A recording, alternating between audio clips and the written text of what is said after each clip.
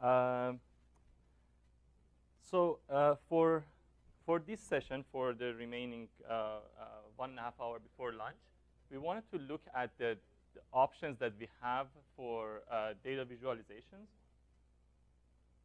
Okay, uh, if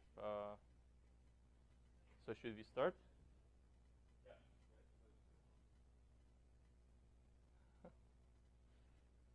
Okay. Yeah, so uh, there are three ways that we can create visualization. We, we can check the data here. The first one, the most sim the simplest one, are the options that are available in uh, in Ethica dashboard. Here, we can look at survey responses. We can look at GPS data, but it's fairly limited. The flexibility that you have to uh, basically just uh, filter the data, choose only a certain ra time range, and so on. Then uh, we will first look at those, and after that we look at uh, uh, Kibana. We looked at the data yesterday, and we ch uh, checked the Discover tab that showed us all the data that's stored in the database. we will be, okay, let me close this.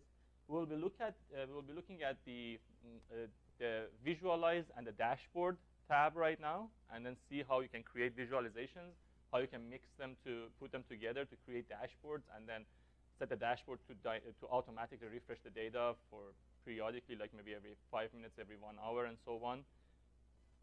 We will look at how uh, we can create custom graphs. Uh, it's a bit more complex. That's going to be after uh, lunch using a tool called Vega that you basically can describe the graph that you want to create, just write how you want to query the data, how you want to uh, modify them.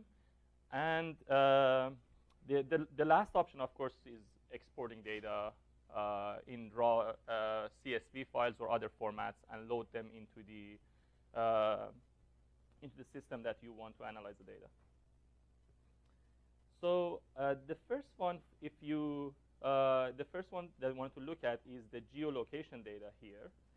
This is a very simple visualization that allows uh, to plot the GPS data that we have collected in only two uh, formats, either heat map or temporal data. I'll go to study 73. That's one of the sample studies here. If you, I'm going to close this one. Uh, the, we have data from this study as well, but this, the ones from sample studies, they go go back longer. They show trips and like different parts of the world and are more exciting to look at those. Here, if you look at the data from, for our study, it's mostly this room and the hotel, and then this room and the hotel. So it's not as exciting. So here, if, we, if I expand here in the sample studies, physical activity sample study, and if I click on sensor data, click on geolocation, there are three participants here. Um, one, I think one of them is me. The other two, both of them are Nate. Uh, so, and he has been to more places, so let's go with his data. And we can say from June 1st to June 26th, you can pick a range and then ask to plot the data as a, as a heat map. We selected a, a very uh, wide range. I think based on what we talked about, this had to calculate the, uh, the, this graph for, uh, I believe, for 80,000 records per week times around four weeks, that's like nearly uh, 300,000 records or so. One thing that you can see that yeah, some time was spent in Boston area, some time in Saskatoon. And if we zoom in, you can see that in this city where most of the time was spent. This is only for one participant. You can add the other two as well. And then the heat map will be should include the Toronto region as well. It still is working. And, or you could choose all participants. Yeah, you can see that includes Toronto region, Boston, and uh, here Saskatoon. Yeah.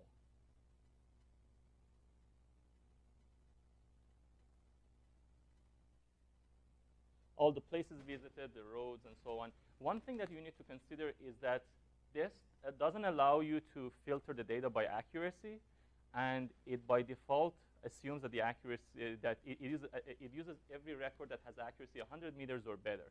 That's why if you put the phone somewhere and leave it for a few days and come back and plot the data, it might show a bit more noise than you expect. But we will see that how you can plot the data with a bit more control over them in Kibana. We can create the exact same graph, but also apply a, a, a more fi a fine-tuned uh, date limit uh, or and also the accuracy uh, um, uh, filter on that as well. Alternatively, you could choose temporal, but temporal requires uh, only one participant because then it shows the, the path that's taken. Uh, I'm going to delete these two and choose just one day because then it's going to be a bit harder to analyze it. Uh, for example, last Wednesday and Thursday, temporal, if I plot this, yeah, you can see that like it's hard to see, but yeah, I, it's just like I dro drove from Waterloo to Toronto, and then from there flying to Saskatoon, and then I spent uh, some time here. This is just a simple visualization to uh, to see if you put the GPS data uh, in uh, in the order that's recorded, and you plot them in the map, you can get exactly the readings that people have uh, have moved. I'm just going to quickly go through the other two options for surveys as well and go to Kibana. We can do a lot more work there and, uh, and look at every data source and start plotting the data there. Yes?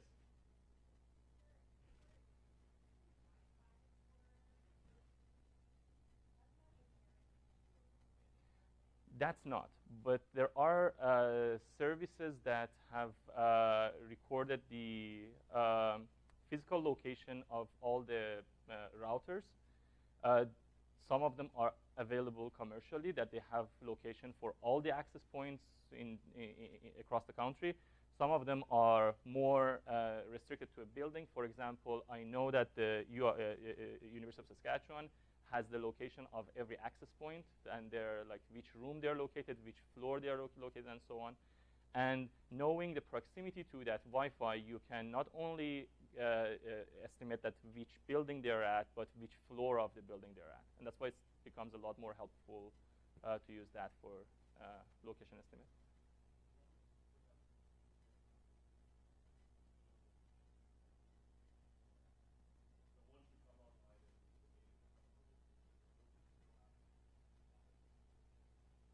Yes, yeah.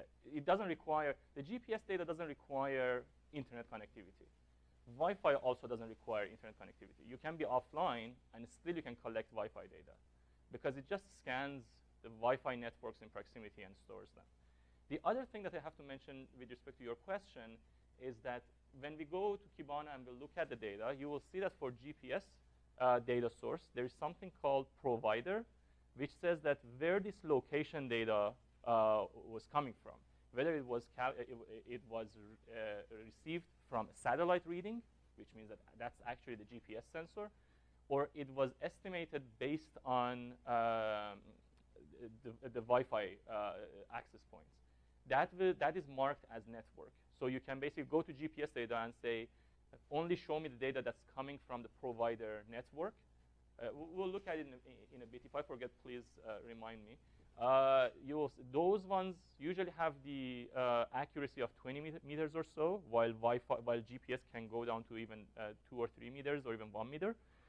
Those basically are calculated using the same commercial service that Google or Apple offer that have the exact location of every access, access point across the country, and then they get the access point readings, and then based on that, they calculate the location, and then just give you the location, the final coordinates. Anything you wanted to, to add, Nate? Just, uh, it bears noting that over the years, the security standards have changed with respect to some of these items. Most notably, if I'm not mistaken, um, detection of Wi-Fi access points. So, so which which Wi-Fi so-called routers can you see? How what's the signal strength from them? Um, uh, their their identifiers. Um, that's available on Android, I believe, but yes, not, on iPhone. Yes. Yeah. And an interesting thing there is that if you add beacon data source or Wi-Fi data source or GPS data source, all three of them, both on Android and iPhone, of course, Wi-Fi doesn't work on iPhone, but for the other two, and, of, and for all three of them on Android, they ask for location permission. Because, uh, as I said, the, all these three types of data, they can be used to infer the location.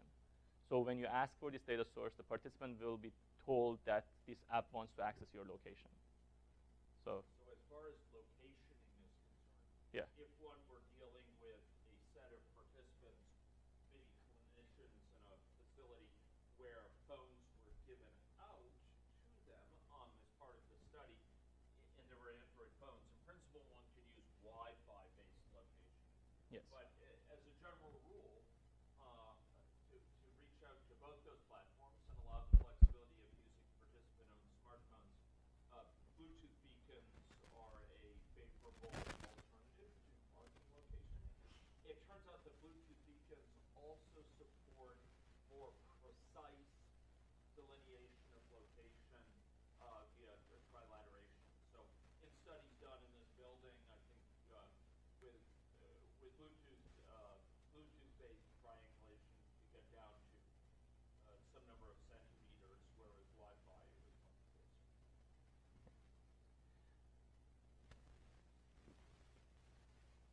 So the other one is uh, looking at the responses. Okay, let's see why this doesn't click. Okay, yes, here. We can, for example, here choose again one or more participants, and I will choose. I, there are a lot of responses here, and unfortunately, this page doesn't support uh, pagination. and It tries to load all of them. That's one of the limitations here. And because the study has been going on for, I think, four years or so, and there are like nearly thousands of responses submitted. When I try to load it, it gets really slow. So I'm gonna just choose uh, one of them: physical activity barriers, uh, display responses. And here you can see that all the the- when they show up, the responses, the images that are submitted with those responses, like this, the read, uh, the I think the question in the survey was that can you uh, if a participant was asked to submit photo and their assessment of any barriers to the physical activity. Of course, this person wasn't happy with the door in front of him, uh, so that's uh, Actually, it, that, that was a locked door that prevented me from, from going outside from a stairwell to Okay. exercise. that's that's a, that's a, why that would take- that's truly a barrier. Yes, that's. That was in Melbourne. So we can spend the rest of the time going through this one by one, and Nate can tell us stories about them. But Narrative, Mohammed, narratives, sorry, yes. Uh, yeah, but let's let's, uh, or, or we can just hear him talking about it. I'd like to take the stairs back up to the hotel room on the first floor, the door's locked.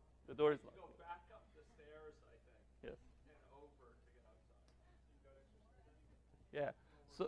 So it, it's it's actually uh, uh, yeah it supports physical activity. It doesn't. Yeah. Okay, that's a good way to. Uh, yeah, so we don't have to talk about them one by one. There are recordings for that. You can go on your uh, afternoon and and listen to them. Uh, yeah, one one other limitation here. Actually, like if you want to download survey responses, you can go here and press download as either CSV or JSON. Uh, this is there is a limitation here. We, when we download as CSV, it basically formats the data that's very easy to read if you want to open it in Excel and, uh, and other similar tools. But it's not very easy if you want to load it into uh, SAS or Stata and other ones. The data internally are stored in a way that's actually very easy to because uh, to, to use it in other databases. Like for example, all time use data, all the timestamps are recorded in UTC and are in the proper format, and all the values are properly uh, stored. But the, the, when you try to download it here, there is this limitation here. We are working on improving this. So if you try to download the CSV file and you see, oh, there's no way you can process it in, in SAS, that's the reason. We can definitely talk about it, how we can uh, format the data better that can be read by scripts in, in other tools. We talked about the geotagging of surveys as well, that where the surveys are responded, that we, we mentioned that's different uh, locationing permission required than collecting GPS data source uh, or location data source. Uh, this page, response map, basically provides, uh, uses that geotagged surveys to, to show the survey responses in a map. So here I can, again, check the, uh, pick the same participant, the same survey, and see where, uh, where were these barriers to the physical activity. It takes a bit time. Okay, you can see that it says that 108 responses are not shown because they didn't have any location data. So there is a the possibility that when you're trying to respond to that survey, if the person refuses to grant the GPS permission or the place they are at, there's no GPS uh, data available, that survey response will not be geotagged. And that's why it's not shown here. Of course, in this set, there were like 108 of them. Uh, There's also quite possibly some from the activities from the uh, other areas of the world. yes, yeah, if I zoom out, it should appear here, Yeah, yes. you. You can see that there are, there, there, every country has some barriers to physical activity, so that's, that's a takeaway. So it's not limited to Canada. Yeah. And here you can more specifically see the ones that are happening next to this. Yeah. There is something, there's there are some issues here as well. Okay. So, uh, and before we go to uh, look into some of these uh, data visualizations more in Kibana, I also wanted to show if you want to export the data, you can use the data export tab here. Uh, you can click on new uh, to create a new data export. If it's one of those uh, uh, those data sources that generates a lot of data that we we talked that because of their their high volume we couldn't store them in the uh, in Elastic and so show it in Kibana. You will see that when you want to export it, you also have to export it. You can say, for example, for magnetic field is one of those that generates millions of records per month. So you can only choose one participant at a time and also one month. You can't say, for example, show me the data for 2016 February. You can't tell the system that give me data from all the participants for these three years. The reason is that the, the uh, file that it generates, the CSV file, can easily go over 10 gigabytes of size in compressed format. And that is really hard for us to store it and for, for you to download it and analyze it. And so basically the limitation here is because uh, if you want to access this type of data, probably exporting it as a file is not the best option. We have to find a different way. Like we probably need a direct access to the, to the database that stores this raw data.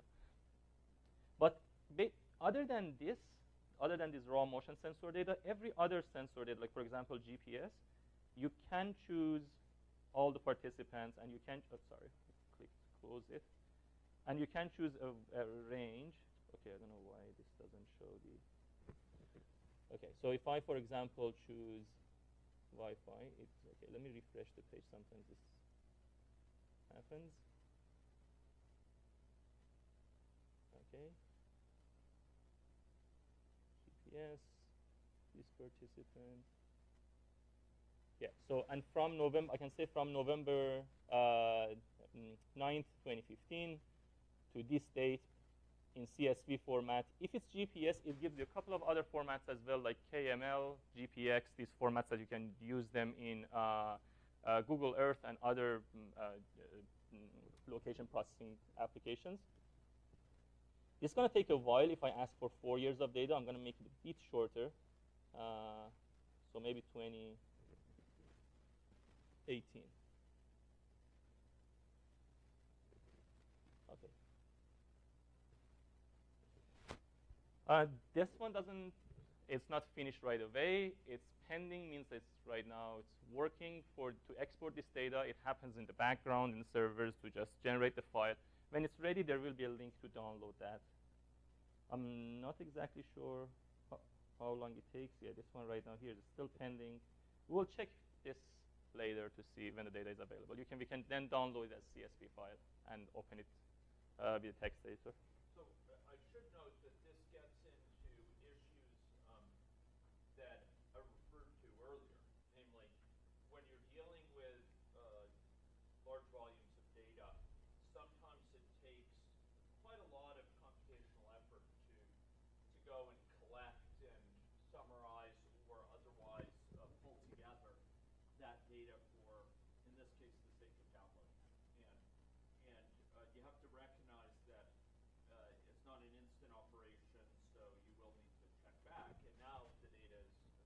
Yeah, now it's available. Uh, there are a couple of other exports as well, like for example, this one that is from 2015 to 2019 for four years. I can download this. You can see it's around 19 megabytes compressed versus the other one is around 11 megabytes. So I think most of the, the, the bulk of the GPS data was for the past year. So just before we continue, we can just, I, I can open this here in a text editor. Uh, and if I go to downloads, here I can see that this is the CSV file. Uh, you know, it's accelerometer CSV. Okay, so uh, this one is GPS, yes. so, so uncompressed, the size of this uh, is around 257, uh, 50, yeah, 257 megabytes. And I can go here to downloads. I don't know why it doesn't show. We have to list it differently.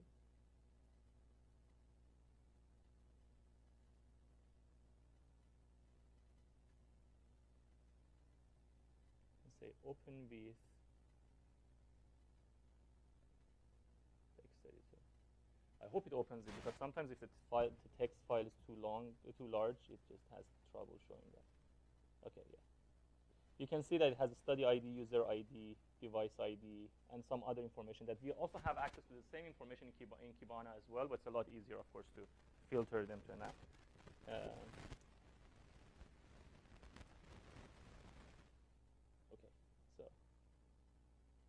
that's everything I wanted to talk about in uh, visualizations that we have already implemented in in uh, uh, in Ethica. But for most of the day, we will focus on the uh, well, for most of this session, we will focus on the visualizations that we can create in uh, in Kibana.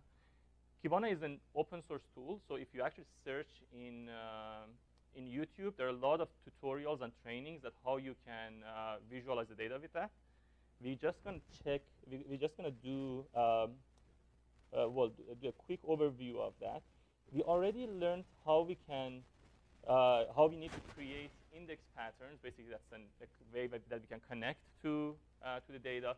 One thing that I have to mention before uh, we go further is that here we have something called workspaces. You probably see on the left side for every user in Ethica, we create uh, one personal workspace in Kibana, and then for every study, we also create one workspace. The difference between personal workspace and the study workspace is that whatever you create in your personal workspace, any visualizations, any uh, graphs and everything, it's just going to be for yourself. You can't share it with others. But if you create anything in, uh, in the study workspace, it's immediately shared with everyone else who has access to that study. So we all have access to study 780. I'm just going to switch my workspace from my personal workspace to this one, 780. You can see that it says here current workspace is uh, Ethica Study 780. Now, whatever I create, if you also go to, to this interface, you see the visualizations that I've created, and you can modify them and edit them as well.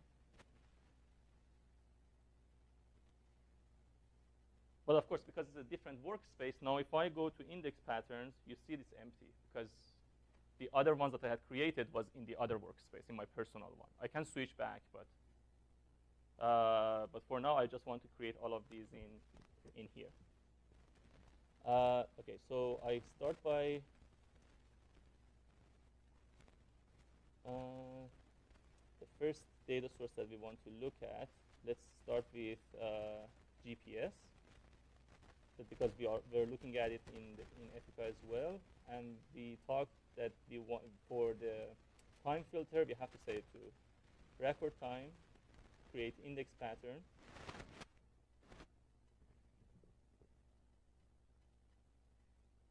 If we come here, I extend it to before the past seven days, and we can see that, of course, it's mostly from this. I can just uh, click and drag here to select a custom range here. That's for uh, June 24th around 6 a.m.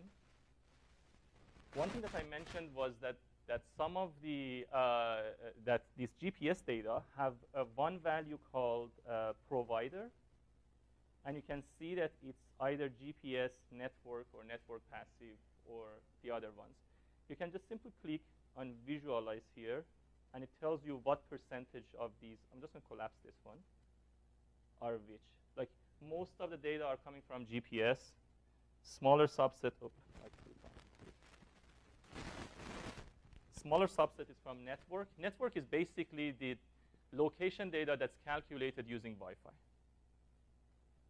And then the uh, network passive, GPS passive, and fuse passive. These are different methods of calculating it. I think there's a description of that, of all of them in the documentation, that what each of these mean.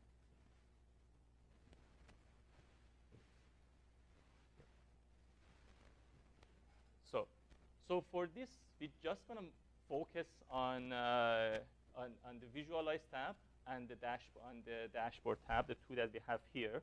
First, let's create a few visualizations. If you have any ideas that you would like us to try here, just, just let me know, okay? I'm, I, have, I don't have any slides for this. I'm going to try a few items that I, I, have, I, I, I know they're interesting. But if you can't think of anything, just let me know, and then we can try it here. The first one that we can do is to, if, you, if I click here, create visualizations, it gives me a few options, basic charts like area, heat map, and a few other ones. Uh, because we are dealing with location data, I'll use coordinate maps. Region map is a different one. It creates map uh, of a region, uh, but it needs the data to be, st we store the data in uh, coordinates, latitude and longitudes. But for this one, the data should be stored as, as geoshapes. It's a different format of storing uh, uh, geographic data that we are not storing it that way. So the, we can't use this one right now. We're going to focus on coordinate maps. And you can see that it first tells you that which database, which table of data you want to connect to. I'm just going to say I want to connect to GPS.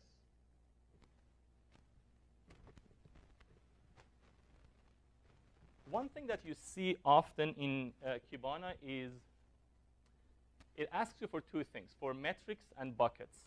There are videos in, in, in, in YouTube that explain it very well. Uh, I try to, I'll share those, the, the, link for, for one of them. It's like a 10-minute video that explains it very well that what metric and uh, bucket mean in this system.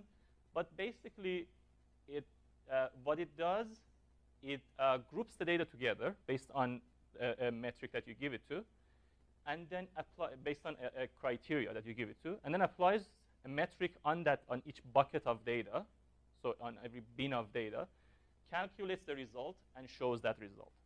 For example, here what we can do is that we can say, because if you want to draw a heat map, you can't say uh, draw a dot for every GPS coordinate that you have. You have to say group them based on a certain cell size, maybe for example, say five meters by five meters, create a cell size of five meters by five meters, group them together, and then for every record that falls in that region, count the, count the number and use that. Or, I don't know, calculate the maximum of the speed if you want to know how fast people were, were going on every region instead of how many records you have for every region. So for this one, for bucket, we say do it based on geo coordinates and use an aggregation of geo hash on location field.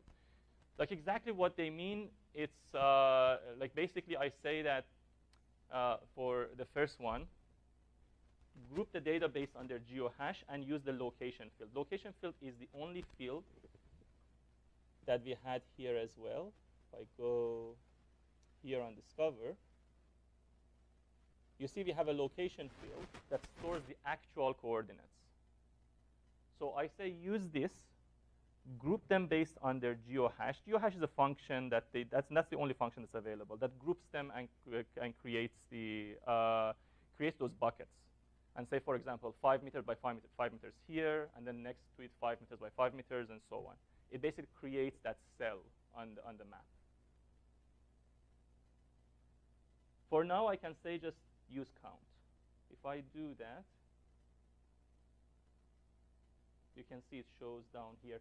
Although it uses, by default, it uses these dots, I can go to options here and say instead of scaled circle marker, use a hash, uh, use a heat map that goes from green to red, for example.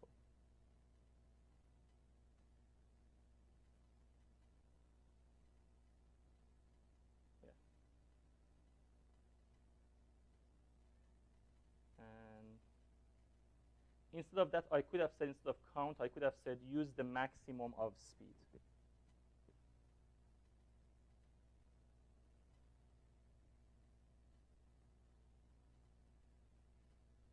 You see that now that I said use the maximum of speed, it highlights the coordinates that are read from, uh, fr uh, from roads rather than readings.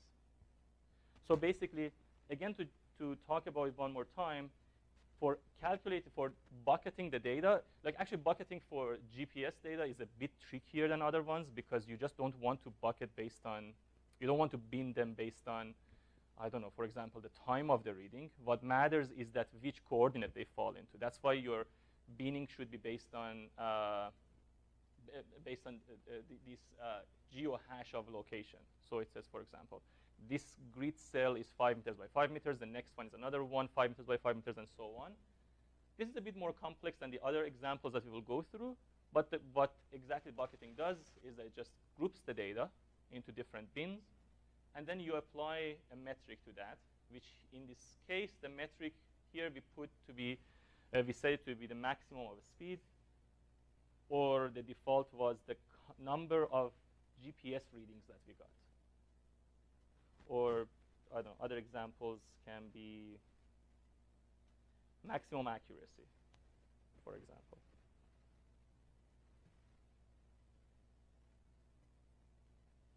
Yeah, so around here, we have got the most accurate data available.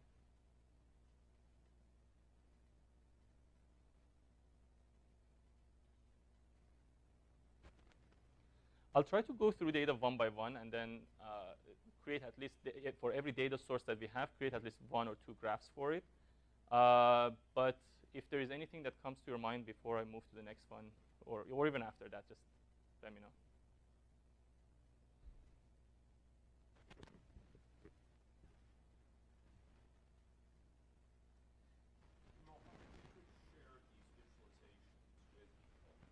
I, I am going to do that right now. I'm going to save this as uh, um, number of GPS readings.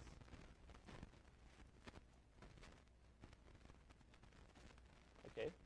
And now if I go to visualize, I'll have this.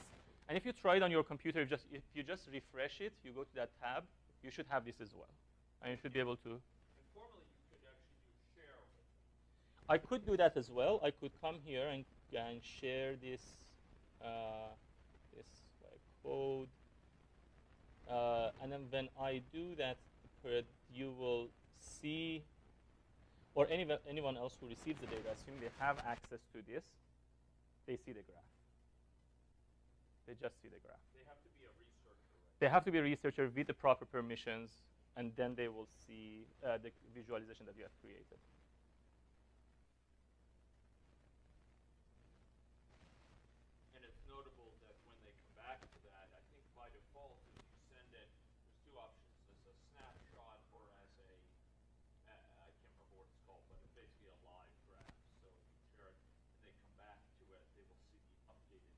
Yeah, it gives you a, a, hint here that what each of them mean. There are a lot of configurations here. I'm not going to go through all of them, but yeah, you can choose whether this to be a snapshot of exactly the data from 24th to 26th at this stage, or you can say just save the setting of the graph, and then people should be able to adjust it as they need. Okay.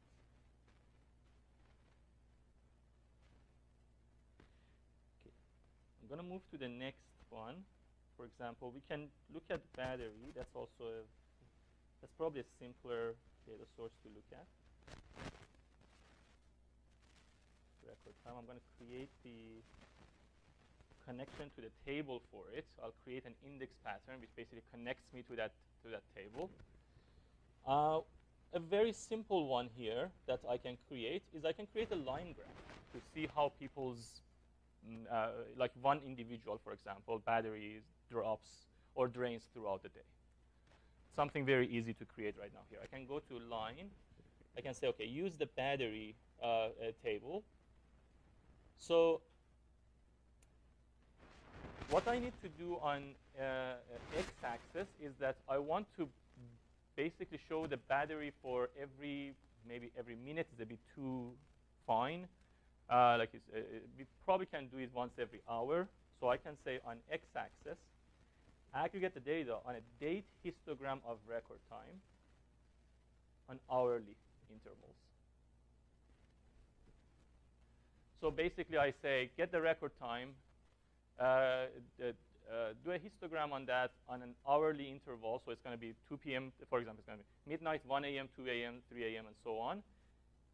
It will bucket the data based on that. And I can say, for every bucket, what I want is the average, um, average battery percentage. And you, we know the battery percentage is, okay, I can choose average, and the battery percentage is stored in level. Okay. So I can say uh, on y-axis, show the average of the battery level for that one, one hour bin. If I plot this, I can choose one day, for example, 25th. And I can choose probably I have to limit it to one participant because this averages out for all the participants and all the readings. Or I can, what I can do instead, I can add a sub bucket. I can say further split the series based on user ID.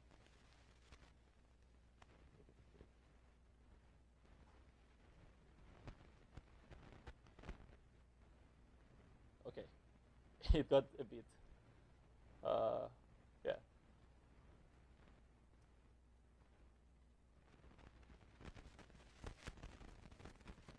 Okay, so let's limit it to just one participant, 13231. User ID is 13231. Okay.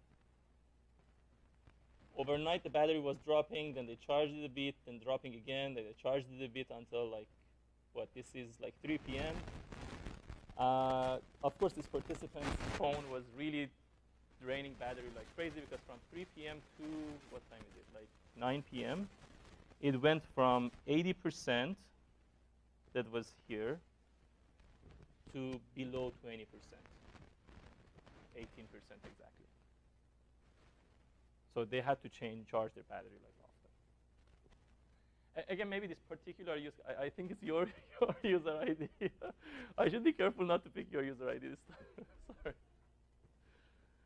Yeah, so, uh, But it's a reflection of the fact that Ethica is configured for this study because it's collecting from such a diversity of uh, data sources, and more to the point, certain high demand data sources.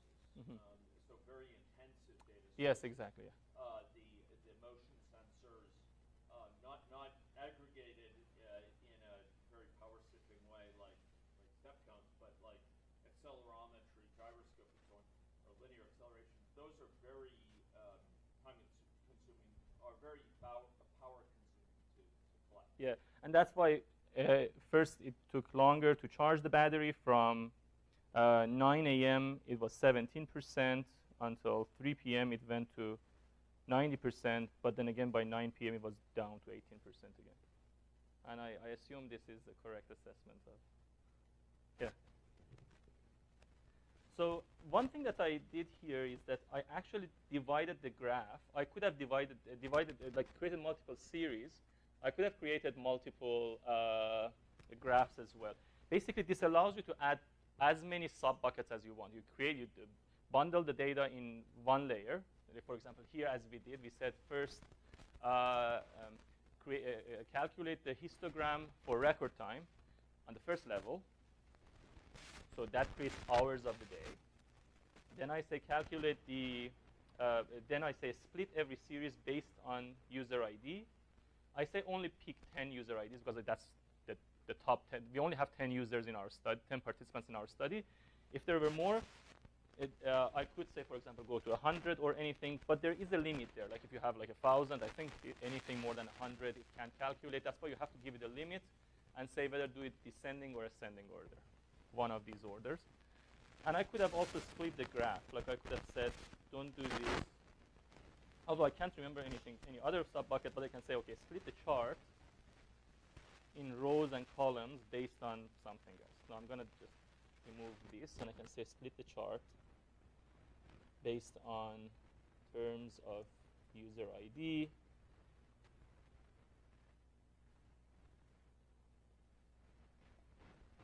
You can see that it created five, one, two, three, four, five, seven graphs, one for every participant that we have in the study.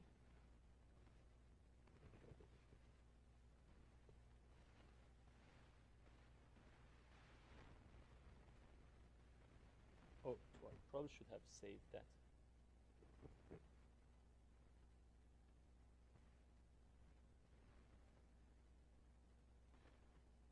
Split series terms. I'm gonna save this so in case if you want to uh, to work with, if you go to the two, if you switch your workspace, you should be able to access this as well.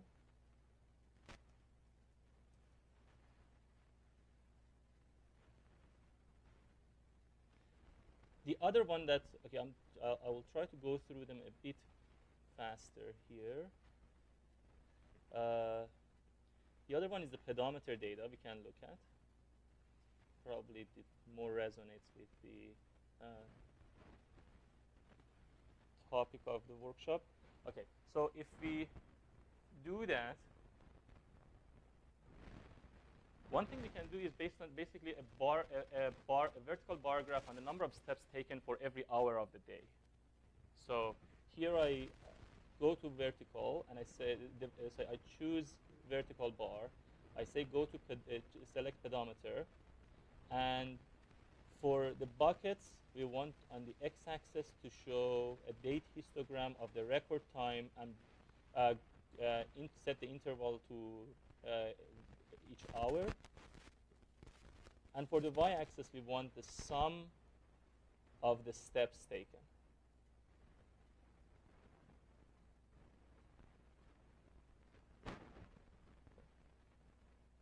Now, this is for every participant again.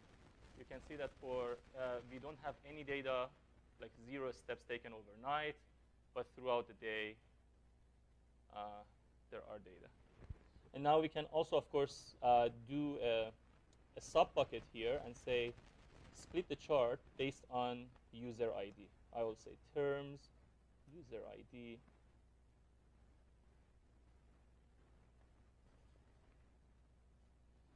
Now this is a bit harder to read, because, but this is for, for every user ID, this is, this is the number of steps they have taken. Maybe I have to just say two, two users. Okay, instead of 10, I say two. Uh, okay, didn't, I can pick one, for example, this 2785.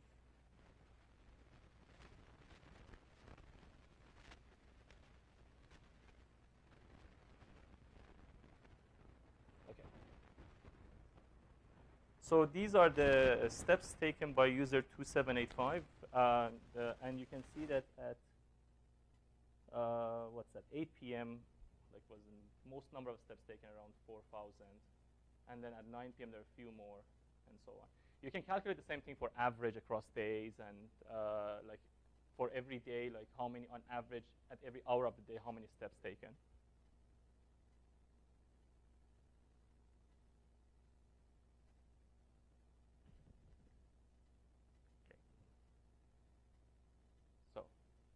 Before we go to the next one, any uh, anything so far?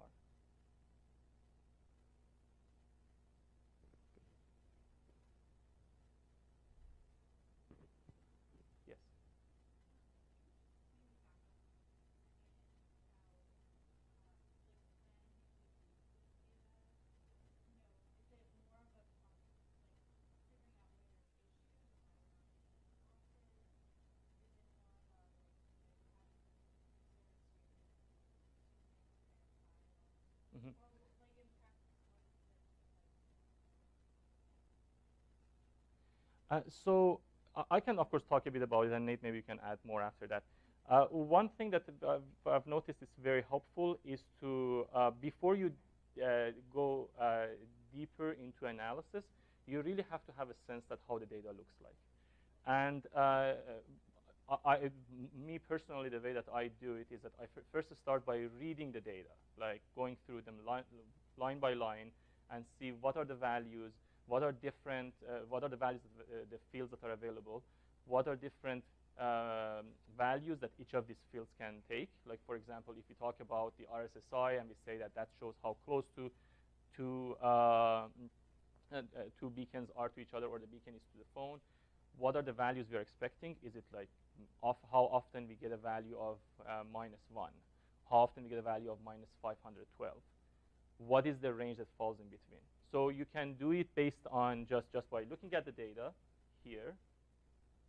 And then you can also do it just by, uh, like, for example, if you look at here, it says the speed is often 0. So you know that it's most of the time you, you, you see the speed of 0. You can visualize it of course, this, this is mostly zero. You can exclude the zero. And so you'll have a sense that the data that you are receiving, what are the values in that?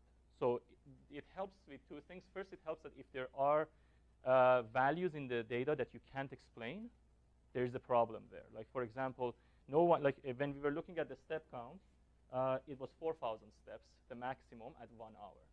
If the same value is 40,000 in one hour, I'm not sure how feasible it is. If it's 400,000, definitely not, not feasible. So there's some, there, is some issue, there are some issues there. So exploring the data as you work as you uh, are collecting the data, it's, it's very helpful.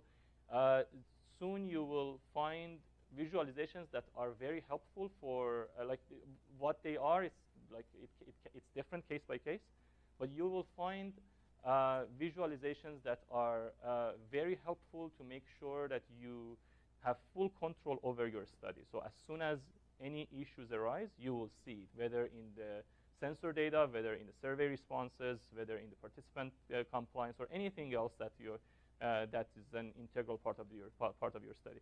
And also, of course, Nate can talk more about it, but it also like knowing the structure of data helps a lot when you want to go deeper in the uh, in the analysis. When you load the data in, uh, for example, uh, in R or Python and you try to use it in machine learning, you need to know how the data looks like. So you can basically uh format it in the, shape, in, the, in the shape that you need and then start running the analysis on that. Uh, I we will not be talking about the details of that, but one thing that you can do here, one option that you have here is actually run different aggregations on the data. Like for example, in this tab, uh, this basically gives you direct access to the database and allows you to write a query and say, well, fetch the data, bond, uh, like uh, uh, divide them into buckets in this format, and then calculate this uh, metrics on them, and show me the output. And this is basically the, the same script that you would have used if you would write a Python code or an R code. To R has, for example, connection to Elasticsearch, which is exactly receives a, a, a code like this that then allows you to uh, plot them in any format that you want.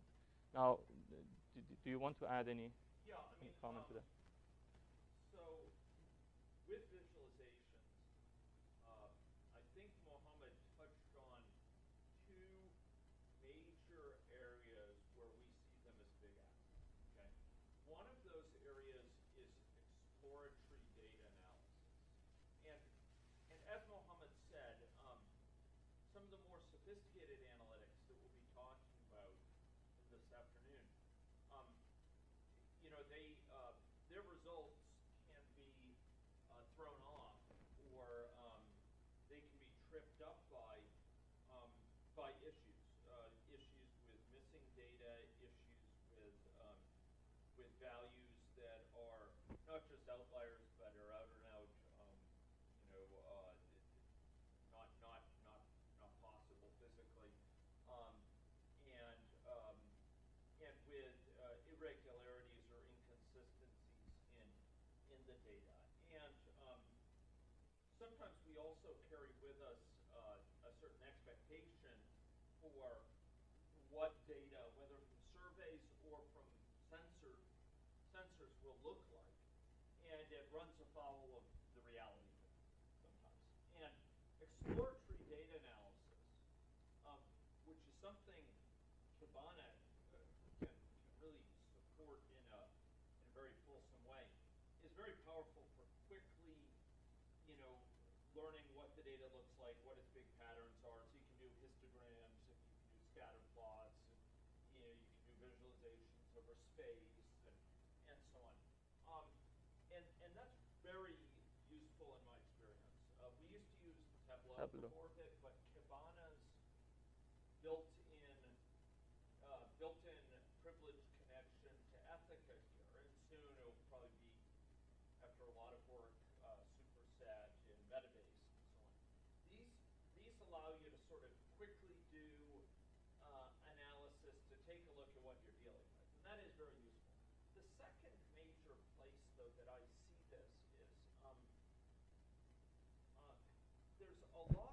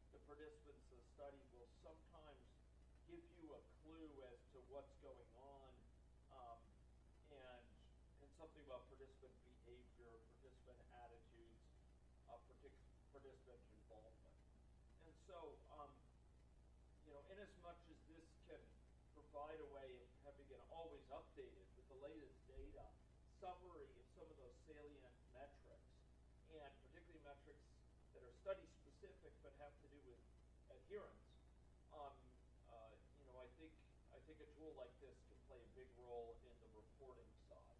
But reporting moving beyond the you know, the handful, the six or so built-in visualization mechanisms in really getting down to study-specific visualizations and summaries that are um, that are valuable for you to keep track of while the study's playing out. Does that make sense? It does. I'm wondering though, do you also use it like, it seems like you do sometimes with control group study around to figure out, you know, are there things Yes.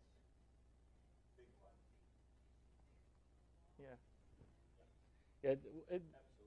Yeah. and uh, uh, uh, that's that's actually the most important feature that these these tools offer, because most of the in-depth analysis happens at the end of the study. You first do all the data collection, and then you go through to look at the data. But um, it's really important to uh, to make sure during the data collection that everything is like the, that the quality of data is what you expect it to be. Because it's too late after the data collection to just go and analyze data and you see that oh like for technical reasons for issue uh, human uh, errors when setting up the study or for any other reason the data is not what you intended for. Then it's nearly impossible to rerun the study. It, tools like this, uh, and, and exactly the, the same reason that we are adding Metabase is that this, it provides more flexibility on running all these queries on survey responses. gives you the option to always have an eye on the data with minimum effort to see exactly what is the quality of data that's coming in today. So if something is not the way that it should be, you can immediately take action and you can try to take care of it. So if I, I, I like that a lot, and if I could, um, just, you know, a couple examples. If you start seeing a large part of the participants are missing their GPS data, and you were counting on that to recognize contact with fast food restaurants or with tobacco retailers, you know, that's something that you might have to dive in and, and find out why this is. Is it for power saving? Is it, is it for privacy concerns? And you go in there and engage with participants. Alternatively, sometimes, um, s- sometimes it's not something like quite as technical as that. It may be something like a lot of participants are answering other for personal protective behaviors that they're exercising to protect from, you know, from ticks or, or something like that. And, and there, it's like, okay, are we missing certain items on our list or getting confusion about those items that are there that are leading to people to, to feel their answer doesn't fit into that rubric, you know? Um, and, uh, other times it's just people are not answering a survey or whatever, or, or leaving an answer blank. Um, so, so those sort of things can become evident through exploratory analysis, but then often, and Kibana makes it very easy to say essentially, save this visualization I've just created for the future, in which case it will just be updated when you come back to it. It'll be summarizing whatever data has been accumulated to this point. This is what you see. And that's very, very. And even further than that, like I actually just saved these two to then, uh, now maybe we can talk about that. You can just add them to create a dashboard here. For example, I just, uh, here I come to dashboard, I say I want to create a new dashboard. And I say, well, these two visualizations that I just created, add them uh, to this dashboard. And I save it here, for example, with monitoring dashboard. Okay. Now, then I can set it to auto refresh once every hour. So once every hour, it runs this query and it updates this. And I believe I can make it go full screen as well. Uh, show all this toolbar full screen. Yes. So then this can be this can update once every hour, and you can just if you have a spare monitor in your lab, you can just leave it there, and you can always have an eye on exactly how the study is progressing.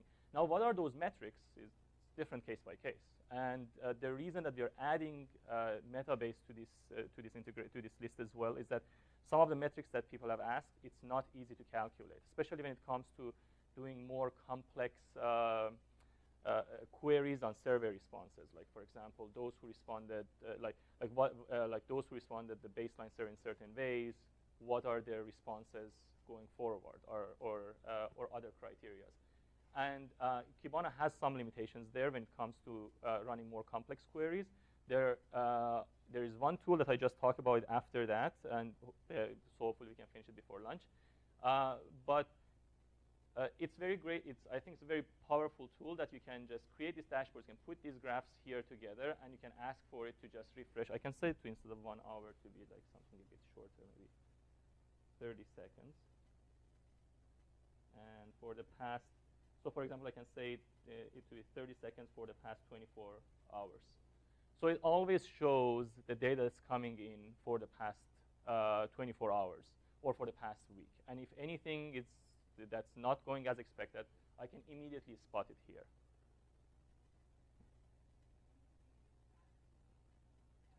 One thing that's very helpful with battery data is to see if the app is operating. Now, of course, battery is just like uh, you can analyze it to see how the battery drains, but more than that, we use it to see if the app is operating. Uh, because participants don't need to provide any permission to, for us to collect battery data, and they can't disable it either. We can always access it. The only way that we can't access it is if they terminate the app. That we talked about it on the first day, that they can swipe the app away from the home screen. If they do that, we don't get any battery data. So if someone someone doesn't provide any battery data. So maybe this graph is not very helpful. Maybe we have to uh, create a bar graph that shows the number of battery data that we get from every participant per hour.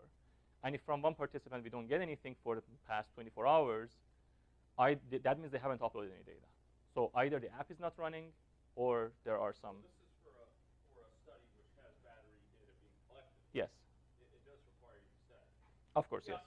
in, in general, um, battery is, it's an easy to graph thing, but, you know, I, I think the same sort of metrics could be used to summarize in a word cloud what, what responses people gave to a certain open-ended, uh, question.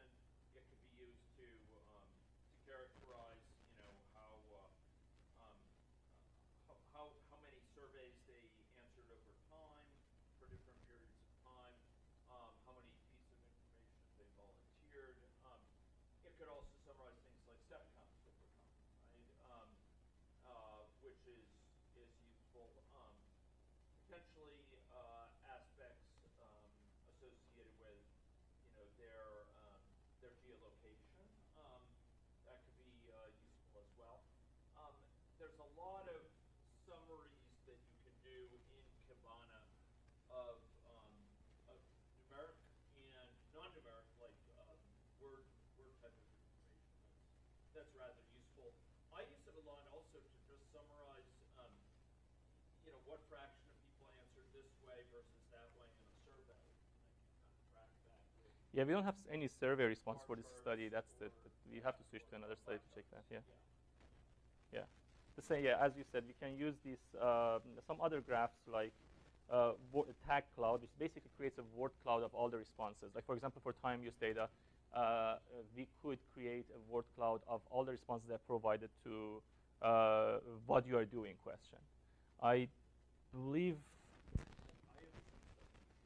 uh, yeah, but you have to switch this study here. Uh, I can switch to my personal workspace so I can check the data from uh, the uh, one of those sample studies. Uh, study, for example, 73, 73 survey responses.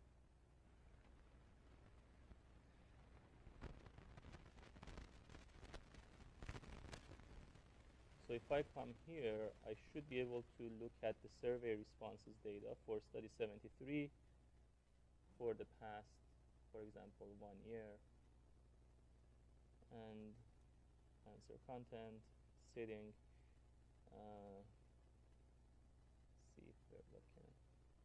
Okay, sitting. It, I, I don't know the format of this this survey. I, I it, that's why I can't easily just create create a graph for it. I'm just trying to figure out something, some uh, s- survey question that has multiple options. So create, we can create a word cloud for it. It seems that question that that is question ID one for survey ID. Uh, okay, where is the survey ID?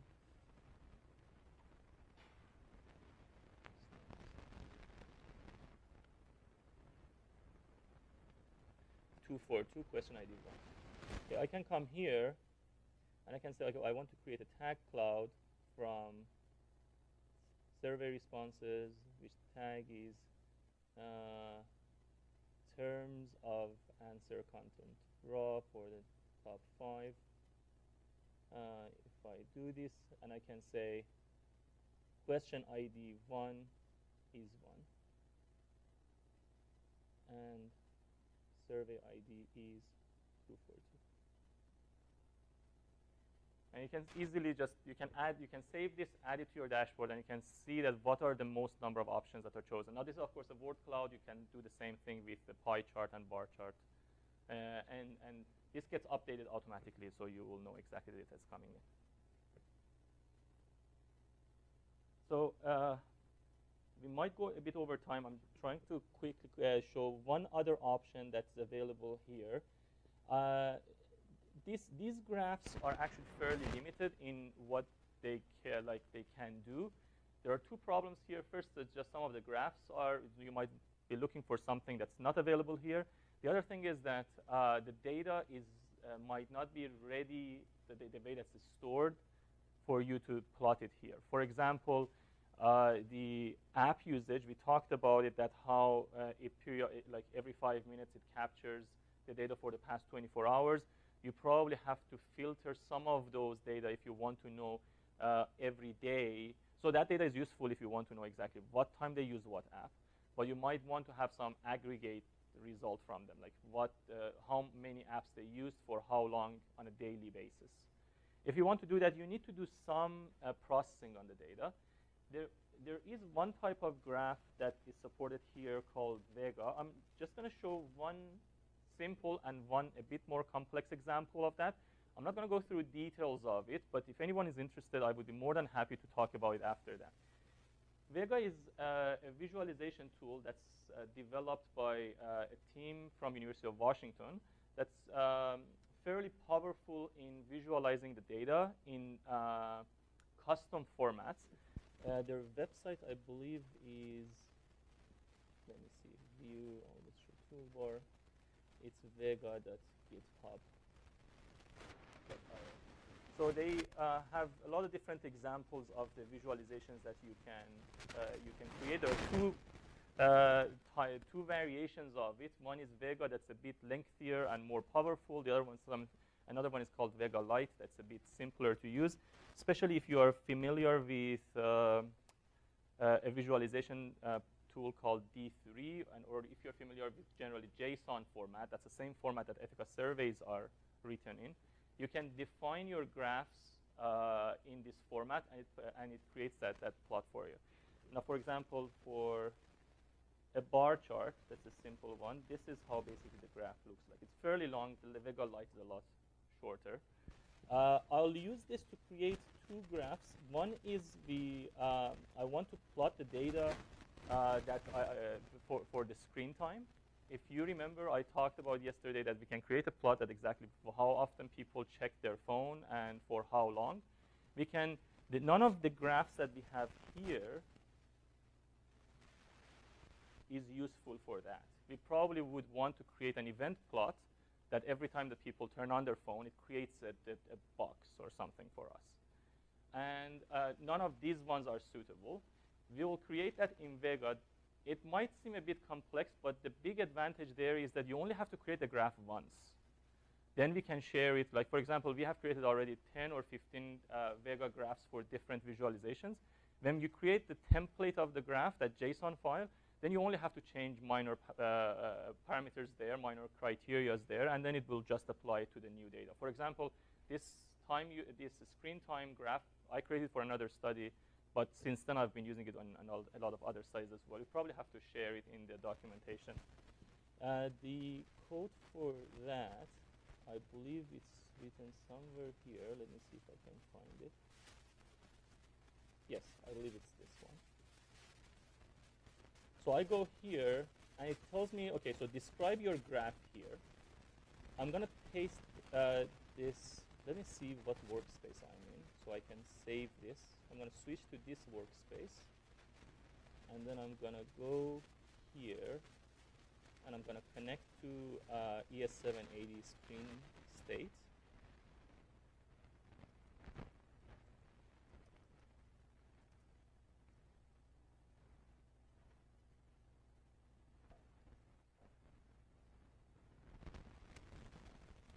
Now when I come to visualizations, I can uh, clean, I can remove all of the content that's here. I can paste this one. Uh, basically, this says, this has multiple sections. The first section, maybe I have to uh, separate it. This data mark and config. It basically says that go get the data from uh, the table ES78 to uh, 780 screen state where the time of the data is between June 24th, uh, 12 p.m. Uh, until June 26th, 4 p.m. today. And then uh, only the ones that the phone is turned on. Fetch this data, and then show uh, uh, on y-axis show the user ID, and on x-axis show the time, and then draw a tick there. This is basically what explains it. It says the, the marker should be a tick, and the encoding should be on x-axis based on the rec- record time, which is titled date, and it's formatted as hour and minute. Maybe it's easier if you can zoom in. And on y-axis, it should be user ID, which is ordinal value, so it groups them, and it shows one row for every group. And draw a tick there. Now, if I plot this, this is the graph that it creates for me. Which basically every line is for one user. The user ID is written on the left side, and the time is written at the bottom. But you remember that I said hour and minute. That's why it goes from, for example, 23, 1, uh, 0, 1, 2, 3. It doesn't have date. I can easily modify it uh, to show date as, to the dates as well. Uh, it's, it generates something very similar to the graphs that you get from R or MATLAB, but the format is different. The format, as I said, uses uh, the uh, Vega format, which is um, quite popular, but of course not as popular as, as uh, R or MATLAB yet. So this is one graph. I will save this as screen time. But this is a simple one compared to uh, some more complex graphs that can be created. I'm going to go here. One thing that's very, uh, one graph that can be very interesting is the network graph based on the beacon data that we have collected for the past two days. We want to see how people, like, we of course handed out all these beacons and started collecting the data. We want to see how the network, uh, the, the network graph looks like. This, I'm not going to explain exactly how the graph is, partly because I also still don't understand how the graph is formatted. What I did is that I basically went to their uh, examples.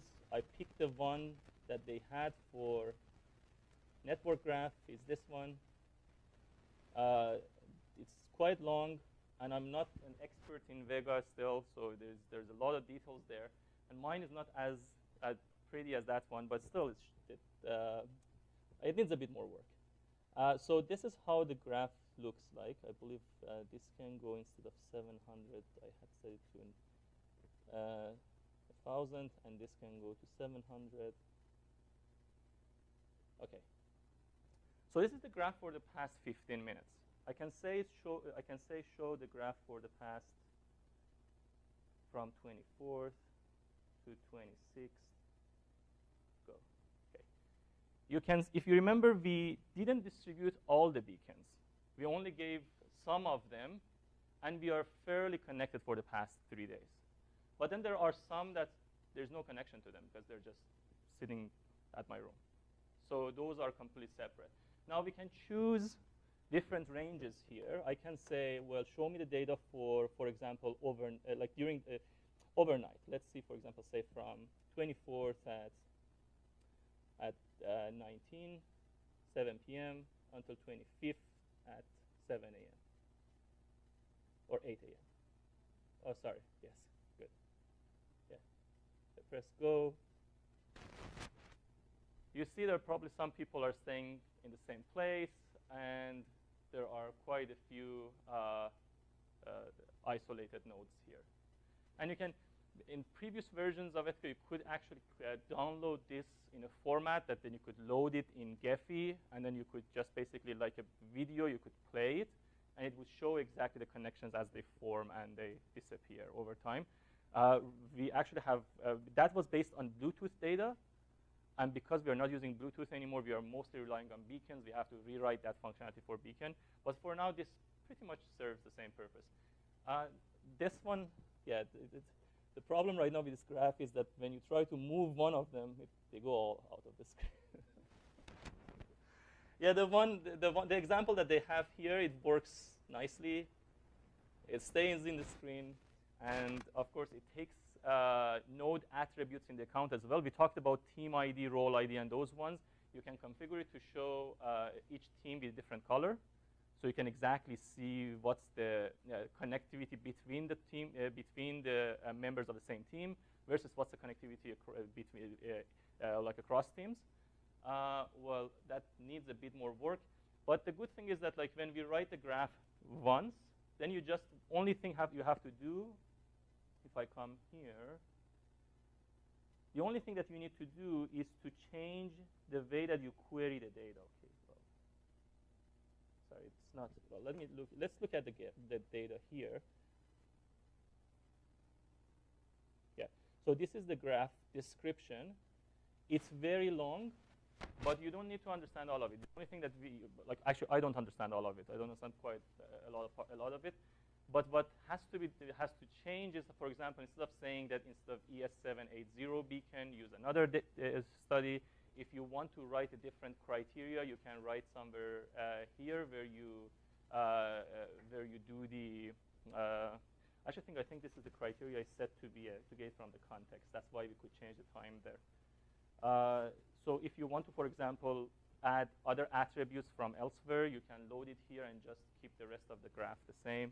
There are a lot of things that can be done here. It's not as easy as uh, those bar graphs that we had created. Uh, this is, of course, more complex. It needs a bit practice, but uh, we had studies that are using this very uh, uh, strongly to collect the data. One of the studies that we are uh, that uh, is that's using right now beacons is with a group in Leiden University in the Netherlands. I think that they have already nearly 300 uh, participants in their study, and they have used this graph and a couple of other um, time series graph to very uh, easily to monitor as the data come in, like if there is any problem in the data, and they have had they have achieved a very high compliance rate in their study as well. Of course, they have kept a very close eye on every aspect of it.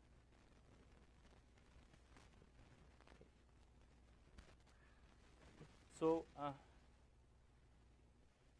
okay, we are a bit behind, but if there's any questions uh, about this or about any of these visualizations, uh, I would love to talk about. Let's see if I can format it.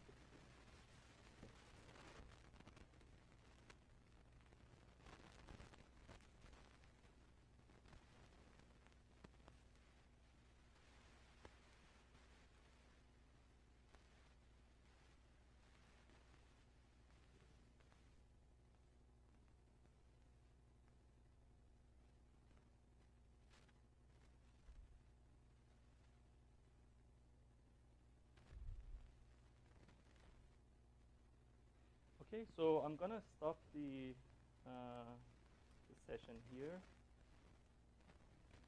And I probably need your password to,